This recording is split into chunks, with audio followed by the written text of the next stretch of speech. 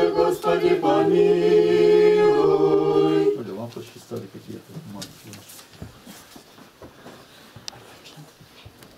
Из беседы святителя Иоанна Златоустова о душе.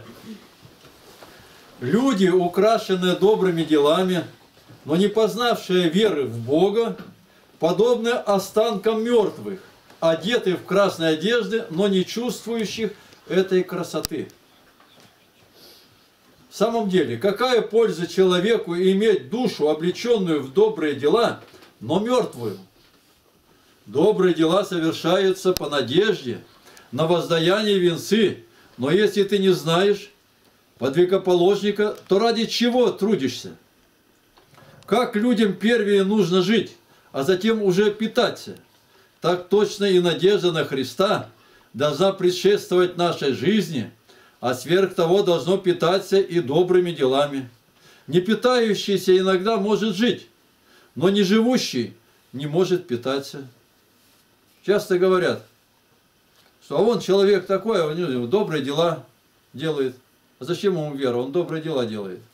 Он много, говорит, добрее, чем бывает, что и верующий. Ты не можешь представить мне человека, который, совершая без веры добрые дела, жил бы. А я могу показать тебе верующего без дел, который жил и удостоился царствия. Никто не жил без веры, а разбойник, только уверовав, получил оправдание. Не говори мне, что он не имел только времени для исправления жизни, так как если бы он остался с верой, то пренебрег делами, то лишился бы спасения. И Корнилий получил свидетельство о своих милостынях и молитвах, но не знал Христа. И так как око истины, великий судья видел, что эти дела, хотя и хороши, но мертвы, потому что не соединены с верою, то посылает ангела, принуждающего присуждающего награду за дела, чтобы венчать прекрасно подвязающегося верой. Корнилий, говорит он ему,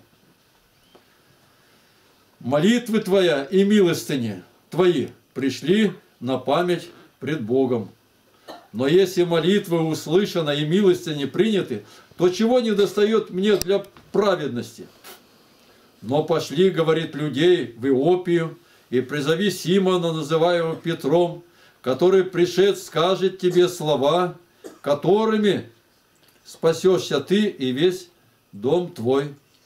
Если таким образом сам он и дом его спасется благодаря словам Петра, то, следовательно, он не имел еще спасения через дела, пока вера не присудила награды делам его. Бог все дал нашей природе, в двоем числе два глаза – два уха, две руки, две ноги, чтобы если повредится один член, мы облегчали недостаток его через другой. Но душу он нам дал одну, и если мы погубим ее, то с чем будем жить? Душа, однажды плененная страстью, среболюбия, нелегко и не скоро отстанет. И делать и говорить то, что прогневляет Бога, так ставшая рабою иного господина, поливающего делать все противное Богу. Душа, раз отчаявшаяся в своем спасении, никогда не отстанет от безумия, но отдав бразды своего спасения безрассудным страстям, носится всюду, вкушая ужас встречным, так что все ее избегает, и никто не осмеливается удержать. Она бежит через все места нечестия, пока, пока наконец, увлекаемая в самую бездну погибели, не повергнет своего спасения, не низвергнет своего спасения. Душа, раз вступившая в союз с грехом и ставшая бесчувственной, даст возможность недугу весьма усиливаться. Как свинья, валяясь в грязи, чувствует удовольствие, так и душа, одержима дурной привычкой, даже не чувствует зловоние грехов. И как земля, не орошаемая дождем, сколько бы на ней не сеяли, не может произрастить колосьев, так и душа, не просвещенная наперед божественным писанием, не может показать какого-нибудь плода, хотя бы кто и излил бесчисленное количество слов.